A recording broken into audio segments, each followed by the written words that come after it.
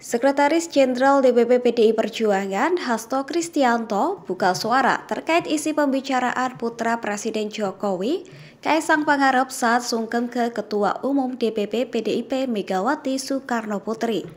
Diketahui momen Kaisang sungkem kepada Megawati itu terjadi saat acara pengundian nomor urut pasangan Capres-Cawapres di KPU RI pada Selasa 14 November 2023 malam. Selain sungkem di hadapan Megawati, terlihat Kaisang menyampaikan sesuatu ke Megawati. Dilansir dari tribunnews.com pada Kamis 16 November, Hasto menyampaikan Kaisang hanya menyampaikan kepada Megawati soal dirinya menjadi Ketua Umum Partai Solidaritas Indonesia. Hasto mengatakan Megawati pun membalas pernyataan Kaisang dengan ucapan selamat. Lalu keduanya saling bersalaman. Hasto menambahkan momen perbincangan antara Megawati dan Kaisang semestinya dimaknai secara positif. Hasto mengaku tak ingin memunculkan asumsi publik soal adanya drama politik jelang Pilpres 2024.